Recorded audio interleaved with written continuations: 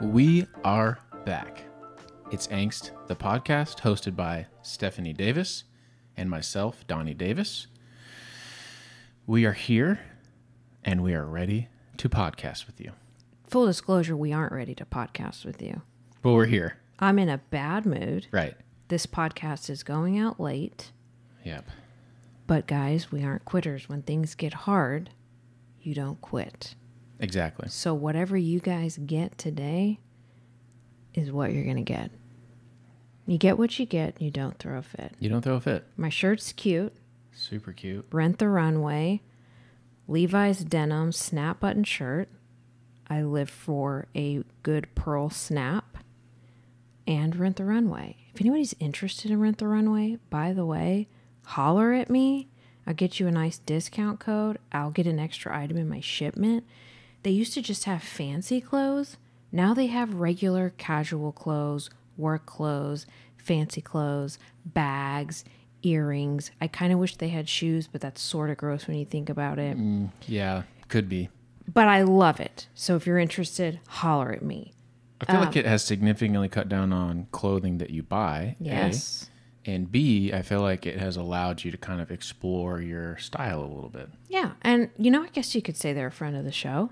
Unofficial friend of the show. Uh, officially a friend of the show. I do want to talk about um, how our guy here finished his half marathon this weekend. Oh, you mean? You, mean me? You. Yeah, Yeah. I did. I was so proud of you. Thank you. Watching you finish. I hated. I don't want to make this about me, but I am going to just for this first second. Well, it's half about you. Go no, ahead. it's not at all about me. It we do everything together. Even though so I've ran multiple half marathons without him. And I've never like being on the other side of this is new for me and I didn't love that part of it. Just not knowing how you were feeling, what was going on. I d- felt like I just sent you off out into the streets, even though this was all on your own accord and had nothing to do with me. It just felt like I shoved you out and that was it. I'll see you at the finish line. I didn't like that part of it. Yeah, and I remember feeling that whenever you were doing them too, It's so hard. I'm so sorry. because it's like two hours plus of knowing that you're doing something hard Maybe crying. and not being able to like help you or encourage you or anything like that. So yeah, I totally get that. Makes sense. You did send um, us mile updates. I said, could you send me like a quick video update just so I could see his face? every mile, not every mile. I just said asked for updates throughout, and Yeah. you sent a few videos, some just quick texts, but that was really nice. Yeah, out of 13, I think I probably sent like 10 or not, 9 or 10 updates maybe. Yeah, I think I got about three videos. I might piece something together there with that because it's pretty good content. But it was so fun. It was actually fun. Looking back on it, there was a lot of it that I enjoyed. So, like what? Tell me your top three things. well, top three has to be seeing you guys right at the finish line. Stop it. I Um, agree, though. Finishing actually felt kind of lackluster. I don't know if you experienced this, but like crossing the finish line is very much like, now I'm done.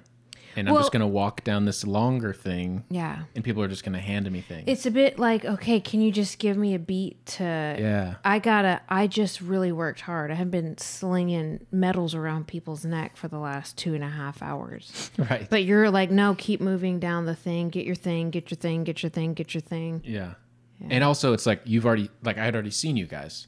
So now it's just like I just mentally regrouped during that time, but it just it was funny that like it was actually way more of a high as I was running than finishing. Finishing wasn't even that much fun to me. True like truthfully, it was just kind of like all right. That's what she said. now it's now it's over. Um so like what's next kind of a yeah, what's next? I would like to run it with you next year. I think that'd be awesome. There's You're gonna like have to pick up the pace though if you're gonna run with me, big guy. You're gonna have to actually train and see what your pace is. Please, I could. Here's my toxic trait. I felt like I could probably, if you think I didn't think last week, I want to sign up for this half marathon and run it with him. I could do it. Yeah, I think you could. I, I know I could, Yeah, but then I think I could do it with a full marathon too, and that's where it becomes toxic. I would be because I think that you're fast, so I'd be curious to see what your pace would be like if you were to just start training now, what it would be. But the early registration, I already get like 10 emails from them a day. Oh boy, yeah. So the early registration for next year has already started. There's already a date set. Let's do it. I'm into it. I want to do it with you. It was so exciting. Our daughter was so excited to cheer you on. We made our signs. Yeah. It was great. Signs were awesome. Really appreciate the support. Um, And oh, I didn't even get to finish my top three things. oh, oh gosh, sorry. there was a cool aspect of the spectators. Some of them were like really, really out there, like giving it their all, and that was cool. And then I got to see a couple family members like see each other Oh and like run yeah. and give each other hugs, So good. and that was cool. It was really cool. Was that three? Oh yeah, I talked about the finish line, but it wasn't a highlight. Yeah. Um, Maybe the free banana at the end. I didn't get a banana. You didn't? It's free. You got to get what's yours, dog. I don't remember even seeing bananas. I got a water bottle and a medal. Yeah. Um, I think the third part would just be like having accomplished it. yeah. I trained for something. Um, I knew it was going to be hard. It was hard, but I got done anyway. Your nips healed up. We're back in business. No band aids. Yeah. Rawing on this cotton right now, and it's Rawing on the cotton. yeah. Um, so today, guys, we're just gonna dip right into this. We're gonna be talking about anxiety triggers. I'm hmm. feeling triggered today. Yeah. And I don't know that it, if it's for any particular reason, other than we've been super busy lately, and that's a trigger for me. But that's where I'm at today. I am actually struggling very hard today. With anxiety or just in general. all of it anxiety in general. I'm tired. Mm-hmm. I'm hungry but i'm not hungry. I had chick-fil-a and if you've been seeing the instagram videos about that there's chemicals in there to where you never feel full. Hmm. And i didn't. I haven't had chick-fil-a in months. Yeah. self-sabotage myself today. And guess what? That's one of the things we're going to discuss your diet. Hmm. I've I'm so I was telling you this um was it yesterday when I am feeling anxious and tired it's like I purposely withhold hydration from myself Yeah, you mentioned that. and I do. I I know I need to drink water, but I just have a coffee or I'll have a little bit of an energy drink and of course a glass of water. I'm drinking water just not as much as I'm used to drinking every day. And it's I'm self-sabotaging myself. Self-sabotaging myself. Yeah. I'm self-sabotaging. So you're aware of it, mm-hmm. but you're probably not aware of why or like what the. No. So I read one time that um, self sabotaging is a way to have a. It's basically like a control thing. It's like you Yes. you know the outcome. You're controlling the outcome, even though it's negative. You're choosing a negative outcome because you're in control of it. And that's exactly, I think, what I'm doing. I'm in the thick of it right now. We've just been busy and Yeah. I'm tired. And then when I get a moment to myself, I do another self sabotaging behavior. I just get on Instagram and I watch the reels and I just, it doesn't help. Yeah, it's a vortex. It's a vortex. So you feel a little bit depressive. I'm feeling all the things. Yeah. And it's not that time of the month. There are no things like that. I just legitimately feel this way right now. I'm sorry. That's okay. I think. Yeah, I'm not going to sit here and try to. There has just been a lot going on. Yeah. But we're, you know what? We're recording this now and we're going to be glad that we did. Because he even said, let's just not do it. And I said, we don't just not do something because it's hard or we don't feel like it. Mm-hmm. We've made a commitment here and we're going to do it. Yeah. So we're here. I'm and here. we're going to talk about I'm being real with you guys. That's what this is. So don't use it against me, my feelings and that I'm cranky, Yeah. but I'm still going to lead you guys through this today. So, again, choosingtherapy.com, friend of the show. I um, found something on anxiety triggers and how to cope with them. And you know what's great? I've read this and I haven't implemented a thing. But here we are. Why are we like this? I feel like probably everyone listening here is like, oh, yeah, been there. Yeah. We all know what to do. Yeah. for the most part. You know, at least one step you can take to help make yourself feel better. And there are times when I just don't do it. I don't want to. Mm-hmm. How, what's that about? I don't know. I need to. I need to go to another breathwork session too. So, guys, I went. I went. This is how it all started. Yeah, this is how it all started. I went a couple of weeks ago just for like quick maintenance. Hadn't been since November. And generally, after you go, you have this feeling, uh, for me, I'll say that, and you, you have this feeling of clarity, lightness, just at peace. You feel very peaceful. Mm-hmm. And generally, you get really great sleep because you've just released all of this suppressed emotion, whatever. I get home, I'm feeling it, right? Great. Just, it was a really great session. Go to bed. I'm so ready for bed. I get in bed, and our daughter develops this cough mm-hmm. that might take this household down. We're going on two weeks of this It's still going. and it was the worst night's sleep. Of course, you know how it is when your kids are sick, nobody's sleeping well, you're trying to whatever. And she wanted me to hold her hand while she slept, so my arms dangling off the bed. I woke up with a crick. Like I felt like I got beat up because you know when you cry, your face gets swollen, but also when you have a terrible night's sleep, you look wrecked. I looked like I got in a fight that morning when I woke up. I even posted a picture on my Instagram. I looked pathetic. Anyway, so it just went from this ah, to everything's a mess. She she was sick. We haven't slept well in quite some time. There's been a lot going on. We've been busy. Da da da da da. Yeah. I felt like I kind of got gypped out of my post breath work euphoria. Yeah. You definitely did. So I got to do it again. I want to do it again. Yeah, for sure. It's not like it's hard work when you do it. oh yeah. It's So not it's- like a spa treatment. Yeah, it's not like I'm just going to get my nails done. But it's I've got to, yeah, I'm going back into it. even uh, yeah. Even just without the breathwork aspect of it, the fact that we haven't had a good night's sleep in in so many days is pretty rough. And it's also, if you're a parent, I think I know what you're going to say. That's why I'm giggling. it's either talking or coughing constantly in our house right now. Snip, snap, snip on the coughing and the talking. And one day we're going to miss it. That's what I keep telling myself. One day I'll be like, man, I wish I could hear. Oh, she'll call me when she's sick, when she's like 30. Yeah. And I'll be like, what I wouldn't give for her to be here coughing at my house. Right. face. Yeah. But right now, I don't super feel that way, but I know one day it will. One day off and I'd be bou- bounced back. Yeah, psychologically, it's very tough. Yeah. Yeah. Poor thing. No, it truly anyway, is. okay, so I don't even know how I, how we got there. Oh, I need to do another breathwork session. I need to. Well, we were talking about s- negative cycles, basically, like why we choose Yeah, we choose to do this to ourselves. We've got the tools. We all know. Take a walk, do whatever. But we're going to dive into this today. I feel like well, uh, it's time to dive into this. We've been chit chatting for a long time now. Okay, so I don't feel like I need to cover what anxiety is. If you're be good. listening, you are well seasoned in that area. Yeah. But when I think of anxiety for myself, I think the first thing that pops into my head is fear.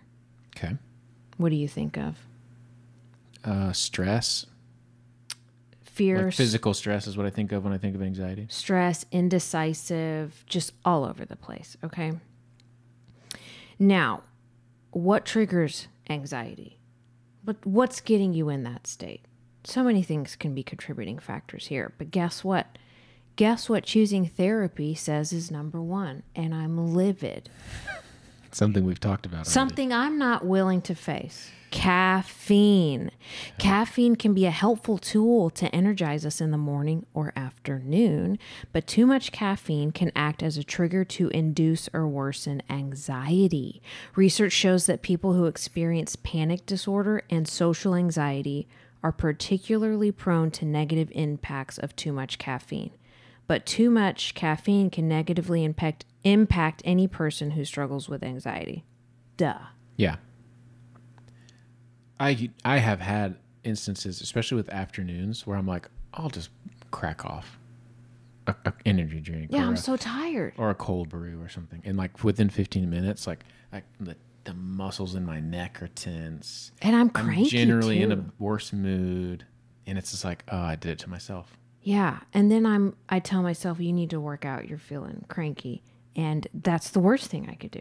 It just revs me up more. Yeah, right. Anyway, lack of sleep. We're hit, like we're all of these right now. Yeah. Lack of sleep. The brain and body impact each other's functioning, and sleep impacts mental health. Not getting enough sleep or not getting quality sleep can have a major impact on our emotional well-being and mood, including triggering and worsening anxiety. A lack of sleep increases irritability, hmm. difficulty concentrating, and overall stress levels because our bodies and brains haven't gotten adequate rest. Yes, Yes. Let me check that box. right. So we're two for two. Triggered. Okay. Unbalanced diet. Skipping meals. Now I'm at three for three as of today. According to a recent 2019 study, I'm sorry, that doesn't. What rec- what was the recent year? 2019. That was five years ago. Yeah, Can you believe that? that's wild. Man, I was in a whole other drop down age range in 2019. Yeah. Yeah. That's crazy. Different dude. brackets. Different brackets. Okay. So, according to this study, not getting proper nutrition can exacerbate Big word. exacerbate anxiety symptoms.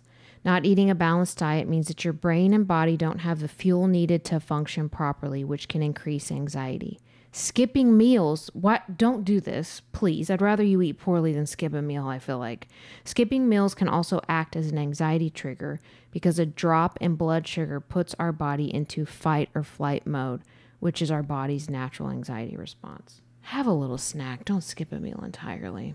Yeah, Um, but I will say, yeah, I had that Chick fil A for lunch today, knowing how it was going to make me feel. did it anyway. I did it anyway, and I was right. So last night I was I really wanted to have like junk food last night for dinner. Mm-hmm. Like I was thinking like Whataburger or something like that. Just really blow it out. Yeah.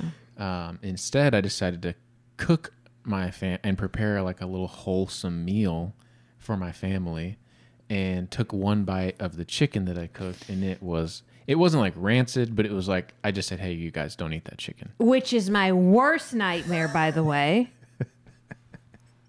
worst nightmare. Her and I both, we were like, what's wrong with the chicken? She goes right. Our daughter goes. It does look a little pink, and I was like, "It's not about pinkness. it just doesn't taste good." And then, uh, yeah, all the follow up And questions. I'm like, "What's it "Guys, taste I don't know how to answer. It. Just don't eat it. That's all I got for you, So we just had vegetables and fruit for dinner and some cheese. and some cheese. We didn't skip a meal. That was on me. So my worst nightmare is that chicken. Yeah, and and when we talked about a few weeks ago about those days where I just lay on the couch, right? Mm-hmm. And I just want to be like blasted off the couch with a fire hose when I'm done. right. I eat so terribly, and it just fuels it for me, not in a good way. Yeah, So let's cut it out, guys. we got to figure out. Sabotage myself today. I've eaten so well. Just I'm trying to eat like fresh, clean foods because they make me feel so much better. Yeah, And today, for whatever reason, I was just like, frick it. I'm going to Chick fil I'd even parked, got home, parked, and I thought, mm mm, I'm leaving. you made a choice. I made an active choice. Yeah. Okay. Medications. Okay, this one's good because I have experience with one of these. Medications are meant to help you feel better, but a number of prescription and over the counter medications can trigger anxiety. Some, exi- some anxiety producing medications include corticosteroids. Can we is that just a steroid shot like when people get a steroid shot? Could be. Never heard it. Nasal decongestants, yes. Antihistamines, yes. I'm not sure what the difference is between a nasal decongestant and an antihistamine is. Thyroid medications, yes. And antidepressants. So let me tell you guys, I have a thyroid. Remember that? Thyroid medication story. So I used to wear this whoop strap. Oh yeah. Is it whoop? It's whoop or whoop. whatever. I you I was obsessed with wearing it, and I was prescribed this thyroid medication, and I didn't wasn't convinced I needed it mm-hmm. truly. Right. But of course, they say, well, according to your blood work, and I'm okay, I'll do it. Right. So stupid. If I could go back four years, I would have been like, you're an idiot. I'm going to listen to my body and you should pay me the copay. anyway, you could see a trend on my overall heart rate, both resting and active, just a huge increase in that, an alarmingly high increase in my heart rate. And I was filled with so much anxiety. I was on a very short, what do you call it? A short, a hairpin trigger. Oh yeah. Yeah. And I finally realized I went back and looked at all my data, which data is so nice for that. And I pinpointed, I went and found the day I picked up that prescription. Wow. It took me a minute. Yeah. And I thought, this is it.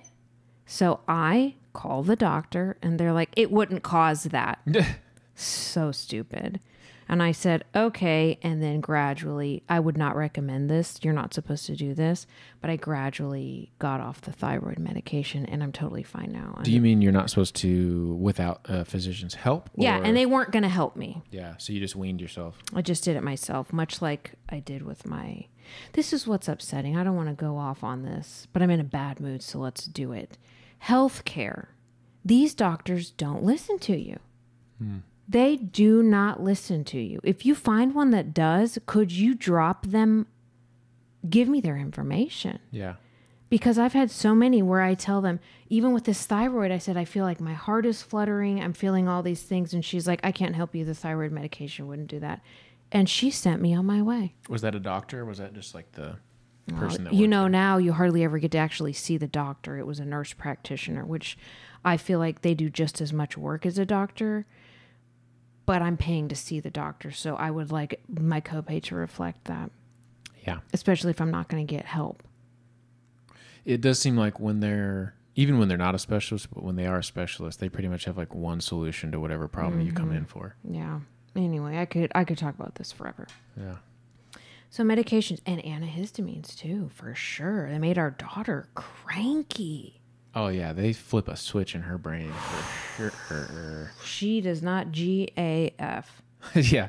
Uh, so antihistamine, that's like um, it's supposed to reduce inflammation, or that's a what's antihistamine? I think antihistamine is like when you take a Sudafed D or a Sudafed something. So I did that once. It's the one where you have to get it from behind the counter. You tell the the uh, pharmacist, I want that one. okay, so it's not give an allergy pill. No, no, no. Okay. no. I don't think so. Because I took one once and I didn't sleep for over 24 hours. Do you remember that? Oh well, isn't that what they use to make meth? Yeah. That's why it's behind the counter. Mm-hmm. Yeah. Uh, So if we're wrong on that, we're gonna look really dumb. But I don't really care. I think that's it. What it is. I don't care today. Um, number five, self neglect. Here you are again. We're five for five. I'm five for five. yeah. Not taking care of your physical, mental, and emotional needs can produce anxiety. As you neglect your needs over time, you could start feeling hopeless, worthless, or high levels of guilt and shame. I don't feel those things right now, for the record. I just feel cranky. These effects could lead to high stress and anxiety as it feels nearly impossible to overcome the negative spiral you're in. Yes. You? Ever? Oh yeah, definitely. Do you hear that bird chirping? Every once in a while. I doubt that they do. Okay. Work environment. This is going to be a big one for a lot of people because mm-hmm. most of us work. Sometimes the environments we find ourselves in can act as a trigger for anxiety. Work environments often include responsibilities that can increase our stress and anxiety levels. Outside of work responsibilities, the interpersonal nature of a workplace can sometimes also act as, as an anxiety trigger, trigger particularly if it's a toxic work environment that doesn't feel safe for our brains and bodies to stay in. First of all, let's address if you're in a toxic work environment that doesn't feel safe for your brain or your body to stay in, please leave. Don't do it. Find another job. There's more jobs. There are more jobs. HEB, Buc-ee's, start there. Actually, maybe if let's be responsible, maybe start finding another job first and then get out of there. Do not feel stuck there. Do not think you have to stay there. Don't. If it does not feel safe for your brain or your body, exit. Okay? Mm-hmm. outside of that, yeah, when work is, you know, when you're new at a job, that's that's there's a lot of anxiety there. For sure. I'm going through it. You're new. Everything is new. Every experience is new. How things work at this company, how this goes, how that goes. There's a lot to it. There's expectations. You want to meet the expectations. That's a lot. It is. Yeah. Anything you would like to add to that? I think it's just like you. There's so much that you don't know that it it starts to kind of shake your uh, confidence in what you do know, Yeah. And then you're trying to. You don't even know where to go to get what you need to learn. Yeah. And guys, work in general, it's stressful. I mean, there's no way around that. If you have a job and you're like, I'm not stressed at all, what do you do? What is your job? I feel like the people at Buc-ee seem pretty chill. I'd probably be, I'd find something to be stressed about there. You know what I mean? Yeah, you'd be like Blowing oh, my man, check this on the is beaver nut." burned. I'm blow, blowing my check on the beaver nuggets. Or them candied pecans. I love the p- candied pecans. Oh yeah, you wouldn't do nuggets. I'd be in the red. Yeah, you would. Um, we- we would own stock in f- candied nuts. When I worked at Lululemon, I made zero dollars. I spent it all. That's what it would be at Buc-ee's on gas, Ooh, Buc-ee coolers, Buc-ee t-shirts, We'd have a fridge full of jerky. fridge full of jerky. Christmas presents for everybody. Yeah, and plus the gas it takes to get there. It's not one close. Yeah, it's true. It's not a viable option. Okay. Cruising right along. I didn't tell you guys a number because there's quite a few and I might skip some of them. Oh, good. Yeah, Yeah. I didn't want to get locked into that. Mm-hmm. Health issues.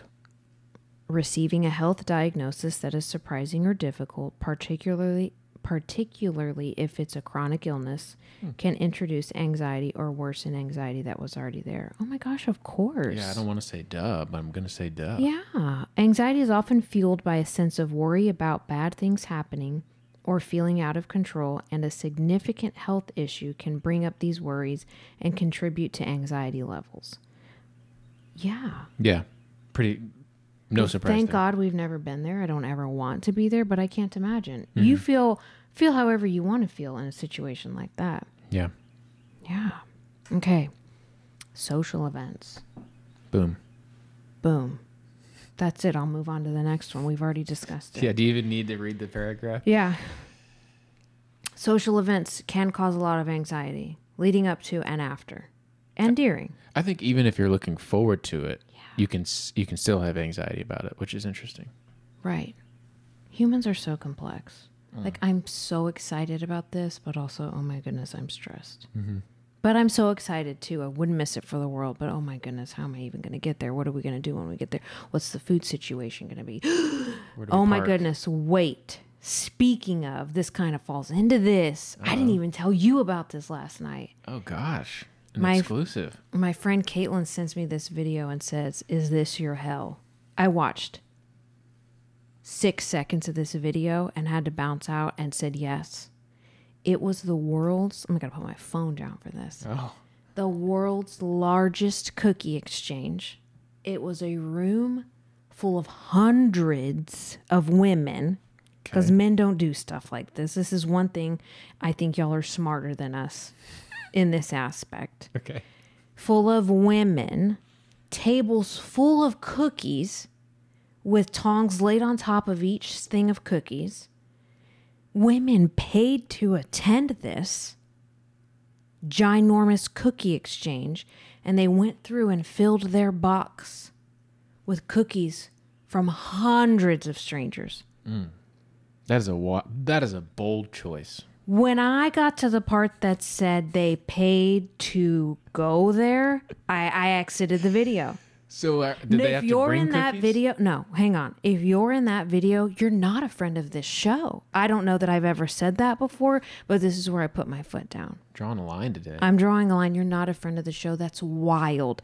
There are so many things that could go wrong. Who made these cookies? Any psychopaths? Does this line is this just because you're in a bad mood, or even tomorrow you'll have the same line of no Same the line. My heart is racing right now thinking about it again. You saw it here for like hundreds of people. Hundreds of, of- women just got cut off the list of friend of the shows. Come on, where's your critical thinking skills? There, you you want you check your kids' Halloween candy, but you're taking cookies from hundreds of strangers. There could be diarrhea stuff in those cookies. Um, was Marianne ripping cigs, baking her cookies before she brought them there? These tongs that are just laying on all these cookies. You know, people are picking up the tong, best case scenario, picking up a cookie, then just laying the tongs on the cookie was all pointless. Yeah, pointless tongs for sure. if everyone just could have their own glove, I feel like that'd still be. But people are gross with gloves. No, no. It's not even, it's the before we even get to the people picking up the cookies part. Hundreds of people paid to participate in a cookie exchange. I'm not even doing it with my relatives.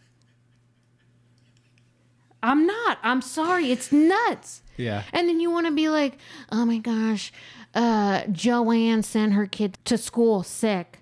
First of all, you you paid twenty dollars to go to a cookie exchange, and you gave your entire family the flu and diarrhea three days before Christmas, and still hosted everybody, and now everybody else has the flu and diarrhea. Oh, she's going deep on this. That's I guarantee that's how Yeah. it went in my head. So I feel like the people that came up with this event were like, "Hey, how can we make an even grosser version of a potluck dinner?" It's like, how about we just get hundreds of people involved? Hundreds of women during the height of flu season. Yeah.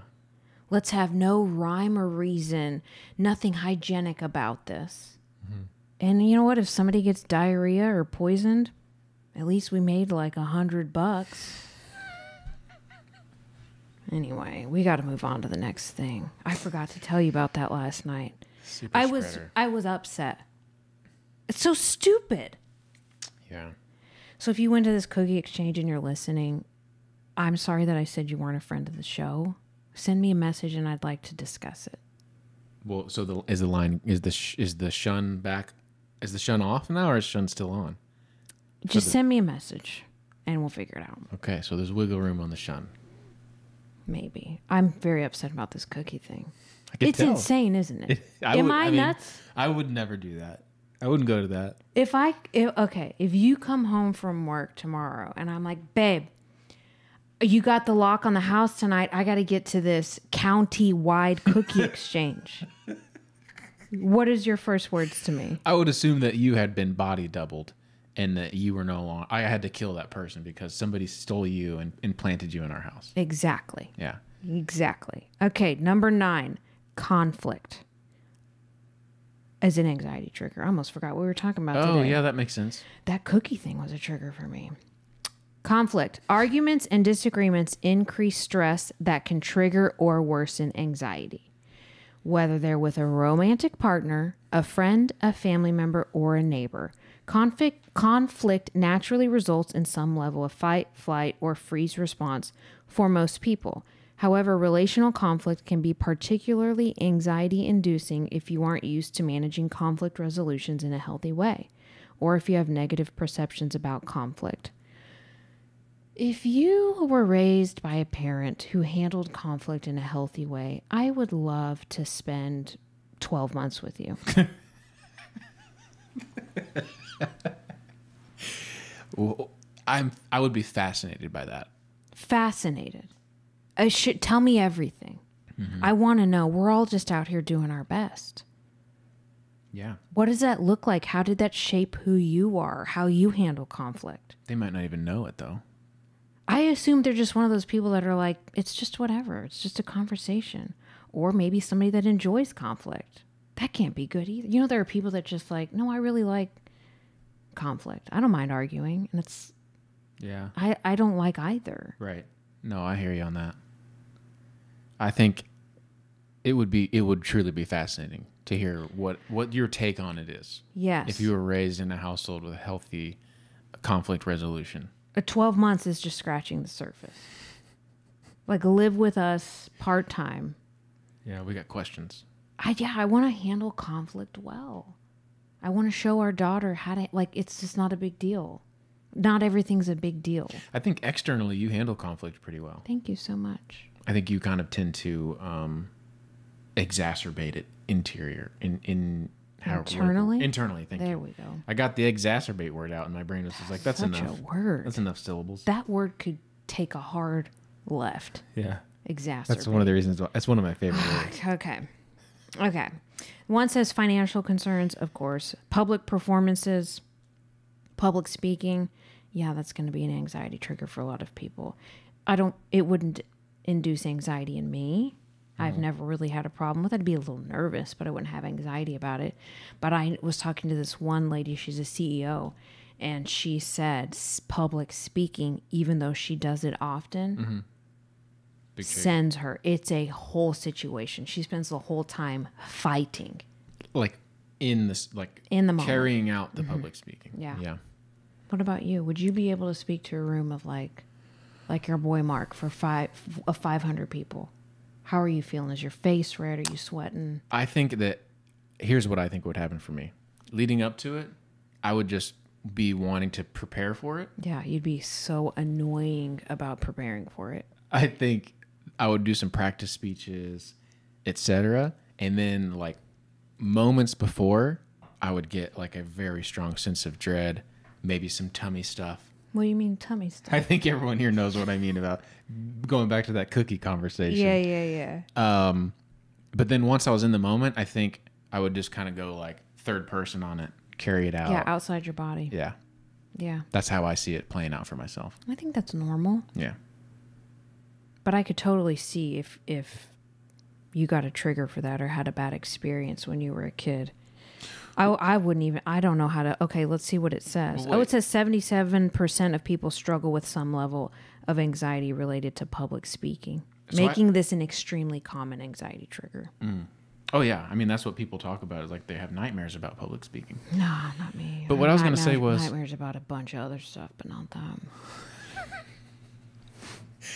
I have had this thing for as long as I can remember where if I'm in a small group, good to go. If I'm in anything larger than like five or six people and I speak, I get red in the face. Yeah. Always have. Mm. I guess I always will because I'm 38 years old. I'll be calm, confident in what I'm saying, and then realize, oh, I'm getting hot. It's a blood pressure issue. You think I've had blood pressure issues since I'm in the sixth well, no, grade? I'm not saying you're you got to check your blood pressure. I'm just saying like you're you're you're It's elevated. yeah your even though I heart's don't probably know it. beating a little fast. Yeah. Yeah. That's interesting because in the moment, like I was trying to say, I feel totally confident what I'm saying. Mm-hmm. I don't feel nervous about the way I'm being interpreted, but like apparently, like a few layers deep, I am nervous. Do you know what I do? Um, when I do this, I've always done this on work calls and stuff like that. When you're in a big like town hall or something, I always watch the person's breath, the rise and fall of their chest to see if they're nervous. Really? Yeah. Just out of curiosity. Yeah. Like, I wonder if they're nervous because they don't seem nervous. I've never and then you that. watch their chest and you're like, oh, they really aren't nervous. Or, man, good for them. You, they are nervous, but you, yeah, their voice doesn't sound like it. So you've been a, you can see on a Zoom call the ins and outs of someone's breath. Yeah. That's impressive in and of itself, I think. I've watched my own too, While you're talking. at like at a recording. Ah, interesting. Yeah, you want to look like cool under pressure. Oh yeah, for sure. That's one way to do it. On interviews on TV and stuff, I do that a lot too on TV. Rise and fall. Because, you know, when you're nervous, it's going uh, up and down a little faster. yeah, I, I hear you. Mhm. Okay. Upcoming exams, another toxic trait of mine. I just assume I'm going to pass them all. I don't really need to prep for it. And I fail. I've, I uh, remember Wait, what's this medical or, or is it talking about school? school exams, Oh, tests okay. and exams. Remember when I was doing a real estate course recently? and I was like, yeah, I'm just going to sign up and take. I mean, I feel like I, it's the first one can't be that hard. gonna The first this thing. unit exam. Yeah. I think I got every single one of those questions wrong. They were not traditional questions. So you went into it confident. Yeah. Got this in the bag. I got to one and I'm like, oh. Number two, I thought, eesh. Whoops. Number three, I think I texted you very slyly and said, I have made a big mistake. but I thought it's not going to be a big deal. Yeah, I what are we got it. Here? But I've, I've, not, I've never been a nervous tester of you. No. Yeah, it's not that big of a deal to us. But if it, you struggle with it, it's a trigger. That's all I have to say about that. Number 13. Oh, I'm not saying the numbers. A messy home environment. Big one for me. Big Davis trigger. A messy or cluttered home can trigger or worsen a person's anxiety. And this doesn't always directly relate to whether a person experiences OCD, Frequently seeing messiness sits in the back of our mind and is a constant reminder of tasks on our mental to do list. Consciously or subconsciously feeling like we're never done with the to do list because of clutter can trigger or worsen anxiety. You yesterday. Wow. I feel seen mm-hmm. right now. Mm-hmm. And it leads to me to another thing I wanted to talk about on the show, which is that I feel like dishes are like they're undefeated. They never stop. Dishes Same as never laundry. stop. Noth- it doesn't matter what's happening in your life. There's always dishes to be done. Always. You can have the best day of your life, go home, dishes. Mm-hmm. Worst possible conceivable day, Dishes. still dishes. Do you know what I hate about scam. dishes? When my mom used to do this. In previous episodes, I talked about how I would do the dishes and make sure the sink was spotless every night before going to bed. Mm-hmm. My mom would bring her Tupperware lunch home from work and just throw it in the sink with the lid on and everything, not even rinse it out. And I would just, oh, it irritated me. You do the same thing. You okay? Just take the lid off. All I want is the lid off. Because I don't know what I'm about to smell when I pop that lid off. Okay, because I was gonna say you put like oatmeal or yogurt bowl in the sink, not rinsed. I rinsed it today. Oh, thank you for doing that. You're welcome. Uh, so I was gonna be surprised if that was a trigger for you. No, it's the It's the containers smell. with the lid still on. Oh, I've done that with a protein shaker. With yeah, you just before. take it off. Yeah, That's it. it's about containment. Yeah. Gotcha. Anyway, yes, you you uh, got this house in order last night. I could tell you needed to. Yeah, sometimes you just gotta let me go. I just let you go, Yeah, and we're better for it. it's good for everybody. It is negative self talk. We've been talking about this in our house a lot. This whole thing, yeah.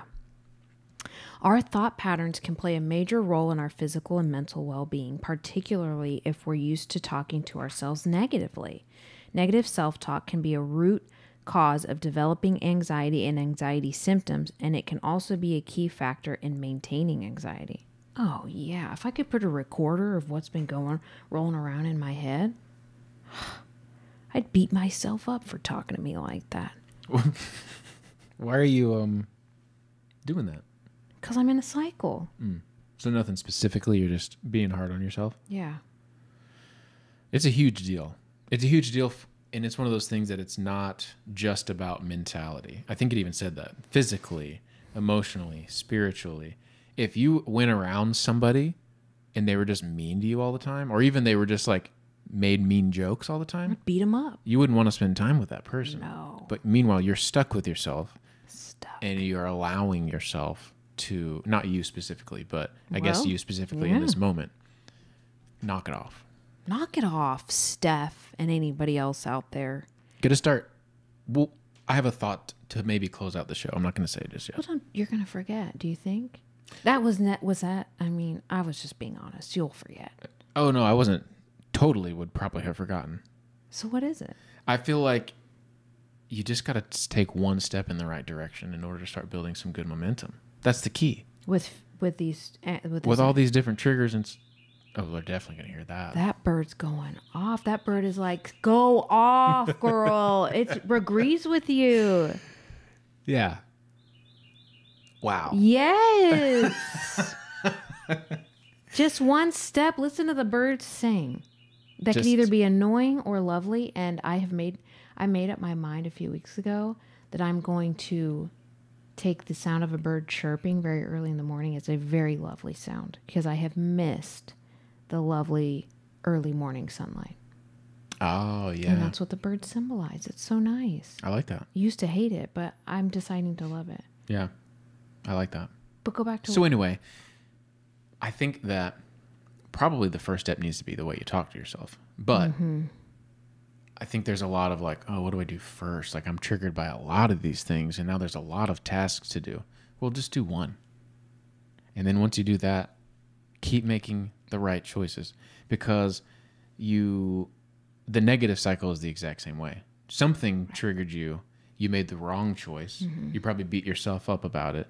You decided to try to maybe if I eat some ice cream for dinner or I'm stressed out, but I bet some ice cream would be good right about now. I know it's not going to make me feel better. Yeah. So anyway, those two those things work in the right direct in the same way. Mm-hmm. They are mirror images of each other. Mm-hmm. You got to let your highest self make the choices. Well, this last one I want to hit on kind of goes in line with that personal triggers. Um, these can sometimes be difficult to pinpoint, but personal triggers often make you remember remember a stressful or traumatic event in your past. This can include sights, sounds, smells, a place, or even a sensation. While these personal s- triggers can escalate or worsen anxiety, these can also be a symptom of PTSD or of a specific phobia. Yes. What are your triggers? Well, messy house. Mm-hmm. Um.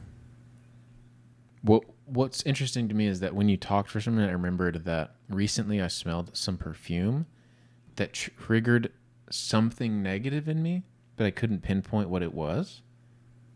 Whose perfume? I don't even remember that. I think it was just in public. Okay.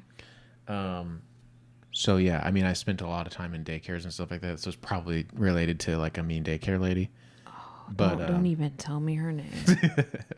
I just feel like I remember smelling the perfume and just having like an overall negative feeling about it, and then wondering like, well, that's weird. Like I didn't have a memory. I just smelled it and was like, felt you knew you didn't like it. not good, and it wasn't related to the lady. It wasn't like I got a bad vibe from the lady. I got a bad bad vibe from her smell. Well, do you want to know how to identify your anxiety triggers? I'd love to know that. Let me tell you. So, the first step towards fighting your anxiety is identifying your triggers. Everything. Unless you know what you are up against, improving your symptoms will seem overwhelming and you won't know where to start. So, some of the best ways to identify your anxiety triggers are to journal about when you feel anxiety. You know, I really feel like I got to start journaling. I really do too. After my breathwork sessions, both times Suzette urged me to journal and I didn't. Mm-hmm. I need to do it next time. Talk to a therapist about your anxiety history. Sure. Try to process your earliest anxious memories for information about your condition and what has triggered your anxiety in the past. I don't know that that's super helpful. But I think definitely talking to a therapist, maybe not about your anxiety history. I don't know. Yeah, that's interesting. I thought it was interesting too. Looking back at the root of your anxiety is incredibly helpful. I guess if you can identify where it came from, you can kind of be like, hey, girl, we're past that. Inner child stuff, maybe? Inner child stuff for sure. I almost feel like diving right into um, shadow work would be more beneficial than like just going to a therapist and telling her what you were stressed about when you were a kid. Right. Consult your loved ones. Sometimes your loved ones are better able to see the anxiety in you than you can see in yourself. Ask them for feedback about when you seem anxious and what triggers it. Yeah, I think I do that with you. Yeah, I think if that is a great recommendation if it's like a like if the definition of loved one means like somebody whom you can trust that will be like actually sensitive to what you're saying. Yeah. Because I think a lot of people make the mistake of like maybe their family triggers them, but then they go to their family when they're triggered and everything gets worse. Yeah, yeah, yeah, yeah. Uh, so that for some reason is what I thought of when I heard that. But yeah, if it's talk like a me and you situation, I would go to you anytime I needed feedback or Do you want do. some right now? I Sure. have some. I'm just kidding. I don't. okay. So, how to cope with anxiety triggers? Increase your healthy physical habits. What have we been saying, guys? Drink water, go for a walk. Improving your overall physical health will decrease the likelihood that your physical health will trigger and worsen anxiety. Making sure to get enough exercise, eat a balanced and regularly timed diet, making sure you're hydrated, limiting caffeine mm, and alcohol intake, and improving sleep hygiene can have major impacts on both your physical and mental well being. Yes, yes, yes. Improve your emotional regulation skills. Okay, this is good. Building your emotional regulation skills will help you better navigate stressful moments and ensure that anxiety spikes are less intense. Emotional regulation tools can include intentional deep breathing, mindfulness, grounding exercises, and labeling your emotions. I love all of this. Um, I feel like breath work has helped me a lot with that. Even though I've only gone twice, I'm going to go again. And um, I feel like it helps with that for me. with the Emotional regulation. I would agree. I feel like it's helped you identify certain emotions, sources of emotions. I think it's helped you a lot. Yeah, and kind of realizing a lot of things aren't a big deal. Well, and if you think about it, if you if I may, You may. um, it there is a large a large portion of the benefit of it is like kind of like the purging of emotions. Yeah. Whereas, um, before you kind of think about it like a like a balloon when you squeeze it and it just gets more and more pressurized in that one part that you're not squeezing. Um, that pressure is like relieved for you. So the regulation occurs because there's less pressure on the entire system. I like it. Another thing here grounding exercises. No clue what those are, but it made me think of our grounding mat. Yeah, I think they're two different things. I- would have. My, my, my, brain Yeah. went to like standing outside in your bare feet. Well, that's definitely something people should do. But I think they're probably talking about like Yoga. yeah, like um Okay. um what's the word? Like uh regu- more regulating type things. Yeah. Well, we've got a grounding or an earthing mat on our mattress. Yeah. And I'm in a really bad mood today, so I don't really know if it's help. Well, I don't know what it's helping me with. Maybe maybe it could be worse. I don't really know, but we got it and we're doing it. Try meditation and yoga. Yes, yes, yes. Limit social media intake. See, this is one. And you see a lot of memes about it. I just saw one on Instagram that said, feeling um, super anxious. I think I'll drink this 40 ounce cold brew and dive into social media for the next nine hours. Makes it worse, but it's like, just feels like I can disconnect but be entertained. And Yeah. it does not. Sometimes I'll catch the giggles, Yeah. but it never helps. But it's for some reason our go to, not yours, but a lot of people's go to. Social media can often start anxiety thought spirals relating to comparing ourselves to others. Limiting or engaging with social media in a more mindful way can help ensure you notice and stop negative thought patterns before they begin. Mine is my algorithm gets me down these paths of anxiety inducing things. Always makes it worse for me Right. or I'll see you, the algorithm some particular day will be on parenting, and I'll just tell me I got to remember all this. I got to remember all this. I got to remember. Oh yeah, this." you overdo it with the And I send them to you, thinking I'm going to go back and look at them again, and I never have. right. So sorry about that. Yeah, we got it. Social media. Ah, There's actually like really beneficial things about social media. We have both talked about this recently, Yeah. Mm-hmm. like on, on in regard to parenting or like what we've learned about ourselves, and even like inspiration for things we've talked about on the show, and all of that. There's a lot of good, but you need to have like hard boundaries over how you use it, when you use it. You and I both lately have been like go go go go go, or at least feeling like we have. so then, whenever we get home, instead of doing anything productive or spending meaningful time together or anything like that, we'll just kind of sit and scroll. So such And a it's like we'll eventually show show each other something and have a Yeah. chuckle, but it's like, oh, now an hour has gone by of our lives, um, and we're no better for it. Yeah. Self sabotage. Okay, work on positive self talk. Talking more positively to ourselves can have major benefits on our health and our mood. Letting go of perfectionism, negative assumptions, and negatively labeling ourselves reduces pressure and stress and decreases overall anxiety levels. Yeah, I believe it. Do you consider yourself a perfectionist at all? I don't think so. Mm, I can be. I don't know. What do you think? About you? Yeah. There are certain things, yes, but maybe the vast majority, no. Yeah, I think you would. I think you would fall in like. How do I say that? Actually, it's going to sound bad, but I didn't mean Say it in a bad way. Just say it. I like the opposite of a perfectionist, but it doesn't mean like you're purposefully bad at it. I'm anything. not a sloppy dog. Yeah, not at all. But like you are aware of the fact that perfection is impossible and are okay with just getting something done rather than getting it done perfectly. Getting it done well, but Yeah. not perfectly. Right. What about you? Um not but I can be. Yeah. And I think I've um like especially professionally, I think I've worked through a lot of that kind of uh, some like things that I would struggle with in the what? past. Like what? um like i think perfectionism for me came down to again uh, like a fear of failure Mm-hmm. or a fear of not doing it well or a fear of disappointing people that were paying me or managing me or Yeah, whatever yeah. so um i think i just yeah just worked through all that Thank you for sharing that.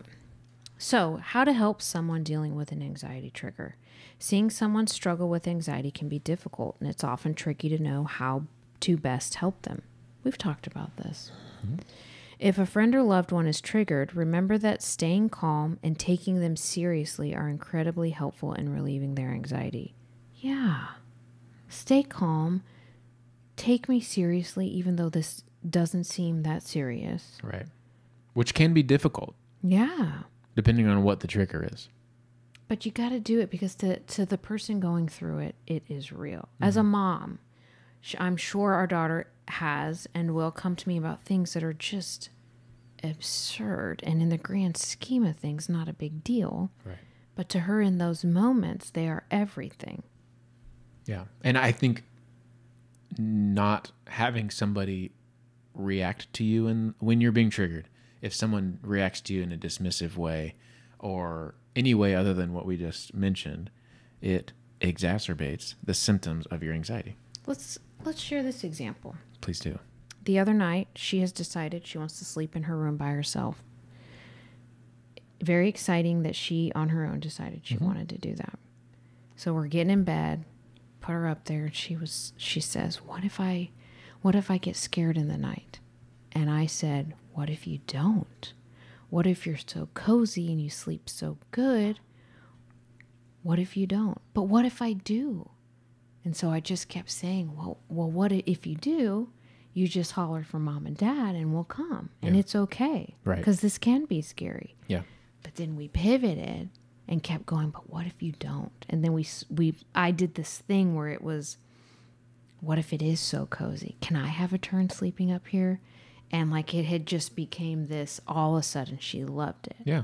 So, I feel like that was the right thing to do. A hundred percent. Yeah, You turned her dread into like being excited about it. Yeah. Not dread, but yeah, because it was her idea. She was scared. Yeah. And it, I told her, yeah, it is kind of scary sleeping by yourself. Yeah. I don't even sleep by myself. Right.